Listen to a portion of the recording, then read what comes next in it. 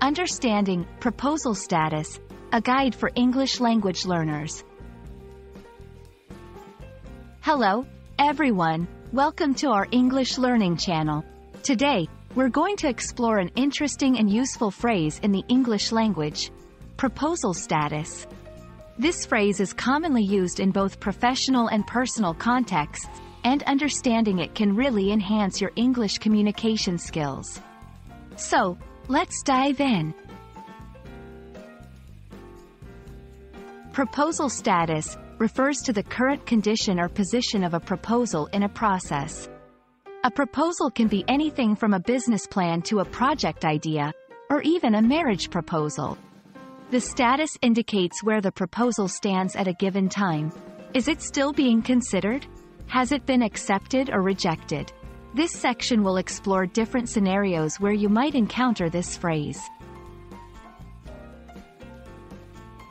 In a professional setting, proposal status often comes up during meetings, project planning, or when following up on business suggestions. For example, if you've submitted a project idea to your boss, you might ask, could you update me on the proposal status?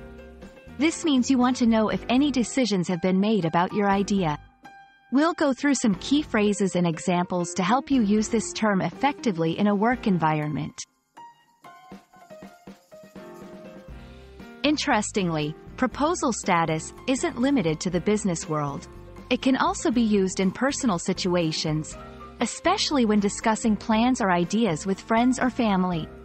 For instance, if you've suggested a family trip, you might ask, what's the proposal status for our vacation plan? Here, we'll cover how to use this phrase in everyday conversations. In this section, we'll address some frequently asked questions about proposal status. You'll learn how to ask about a proposal status politely, how to respond to questions about the status of your proposal, and other useful tips. This will help you navigate conversations involving proposals with confidence. I hope this video has been enlightening and has helped you understand the meaning and use of proposal status in different contexts. Remember, mastering such phrases can significantly improve your English communication skills. Thanks for watching, and see you in our next video. Stay curious and keep learning.